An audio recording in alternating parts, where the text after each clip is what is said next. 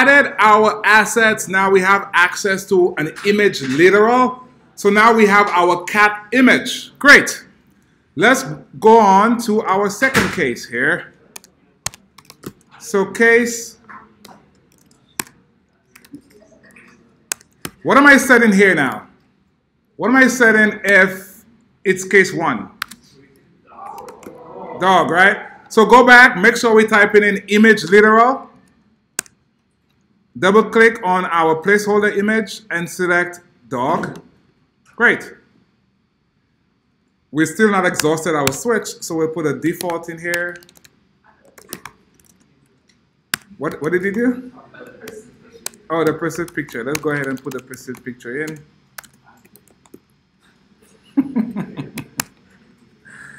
All right. Cool. So we are good to go. Let's make sure we build. We have no errors here. So make sure you build and you have no errors. And let's go to our segmented control changed. Go down to our segmented control changed. So much chatter. Life is good? Life is great. All right. In our segmented control change, we have current segmented index. And here we want to set that property. So here we say sender, which is the segmented control, dot selected. Dot selected segmented index. Remember, our segmented control has a property called selected segmented index. That index the user selected, that index the user selected, that's what we capture there. And we set it on our current segmented index. So this could be what values? Currently, what values we have? Valid values are what? Zero or one. Thank you very much. Either it's zero or one. 0 or 1 is coming from my segmented control. Currently, we only have two segments. Yes? Please do what we do, then you could change your code later. Oh, no, no, I'm not saying like, so I did it the way you did it, right? I have our derivative, et cetera, and then in the function, I just put the current segment in the equal to zero. Where? No, we put equal to segmented control, to sender dot. Uh, Tiffany, which code are you talking about? Is it the property observer? No, not the variable, the variable itself, I have it, um, have it, instead I have a right? And then, and then in, in the IB, Action in the action? yeah, in the action, I have it current segment, it's not equal to that, it's not equal to sender dot selected. I have equal to zero, and it still works. If it's zero, it's only going to be cat. No, it still works. With zero, just zero, you hard coded zero and it changed it. Something else is happening there because you just hard coding it to zero. So your switch statement has zero, it's a cat, it never goes to one. Okay. All right, cool. Let's keep going here. So let's run our code. So run your code and let's test our segmented control. So I'm navigating over to my controls view controller. I click on dog and I get a dog. Excellent. I click back on cat, I get back a cat. So that works. Does everybody segmented control work as advertised, according to this guy? Right? Uh, Yulia, you got your the cat and dog. Are they playing good together? Okay. Lilia, how's your cat and dog? They're good? May, good? All right, excellent. Yes, sir. The default, yes. The default. Yes. Yes. And we could have uh, more images in there. We could have more segmented controls in there, right? Uh, yes. I will come to your computer to see what's happening currently, right? Okay, let's go on to the last part of the day. We'll go to our slider. So let's go to our slider. Let's set up a property for our slider. So for our slider here, let's set a property for our slider. For here, we have variable current year. We expect a float our slider is of type float. For here, I'll just set the default of 2012. For the slider, yes. A switch is a Boolean value. A segmented control is an int. And um, the slider is always a double, a float, sorry. Cool? So here we have a float, it's current year. I'll use did set to observe the changes here. And for here, we have a slider label dot text. Why what? Oh, because our slider is the property, the value of the property of the slider is a float. So when we assign it, it should be a float as well. Because when we go down to our IB action, like we did with the segmented control, it needed to be an int. We needed to be a float here. Cool? All right, so here we have our string. Our string will simply be, sorry, it's going to be a string. Are we paying attention up here? We've seen this, we've seen this initializer before. It comes in very handy. This particular initializer comes in very handy. So please pay attention here. Here we have a string. We'll use a string format. We'll use a string format. Here we pass a format.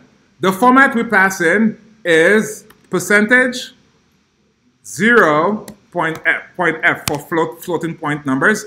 Basically, it's a float right? We do not want our slider label to say 1978.5. That's not a valid year. Everybody with me? I do not want my slider label to say 1978.5. Everybody with me?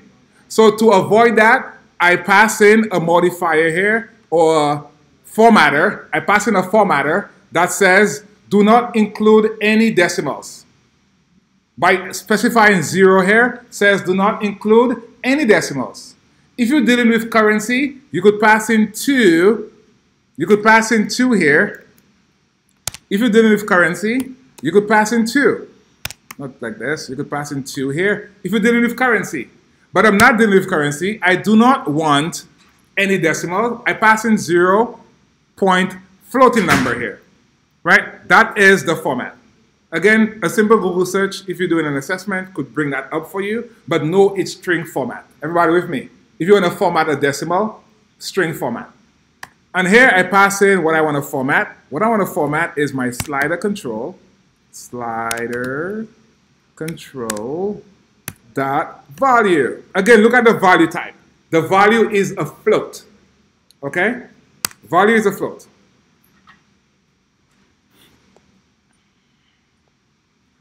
And lastly, to wrap up, let's go down. Can we go down now? Can we go down? So lastly, lastly, let's go to our slider IB action right here. And for here, I will update the current year. Current year gets updated to sender dot value. And again, value is a float. Luba, why float? Because my value is a float as well. My sender dot value on my slider is a float. So the current year needs to be a float as well. Your question was why is a float?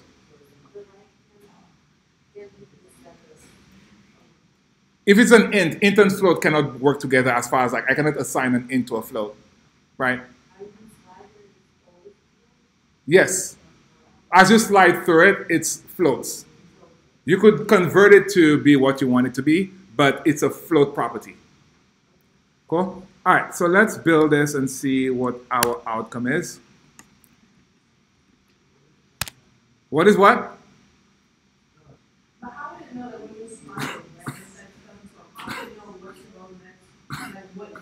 We said it. We said it. Uh, remember back in, did we not set it yet? Uh, we have a configure. Oh yeah, we haven't done it. Thank you, Tiffany. So we haven't done a minimum and maximum value. Thank you. So let's stop here for a second. we need to do a minimum value for our step, uh, our slider and a maximum value, according to what Tiffany brings up. So here, let's create a configure, configure slider. Configure slider.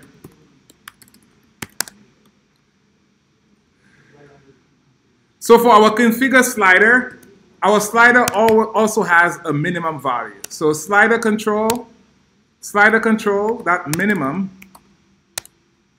Slider control that minimum value, we assign it 1978. slider control dot maximum, we assign it 2019. And the default value we'll start with here, slider control dot value is 2012. And again, where should we be calling configure slider? Where? View load. Why view load?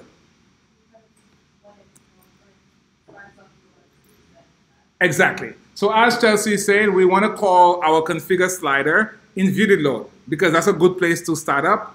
View load gets called once. We want to configure our slider once. Yes?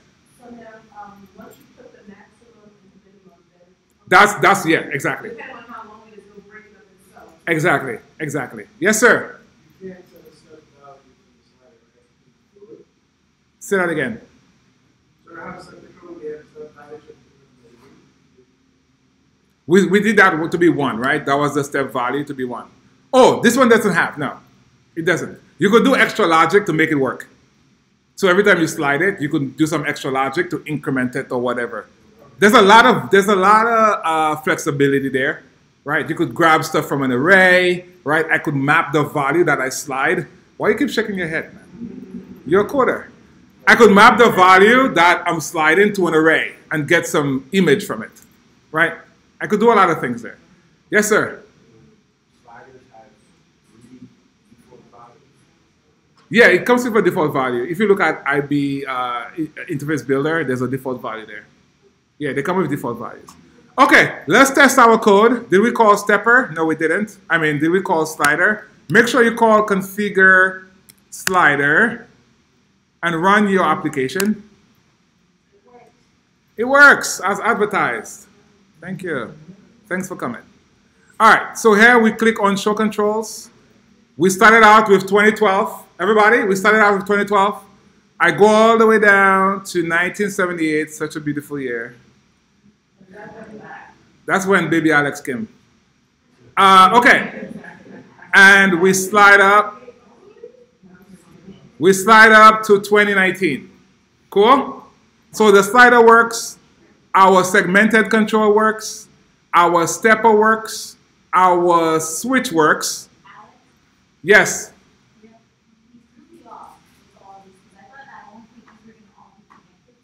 You could connect them somehow.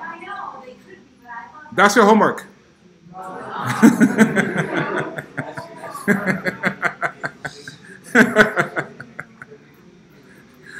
All right.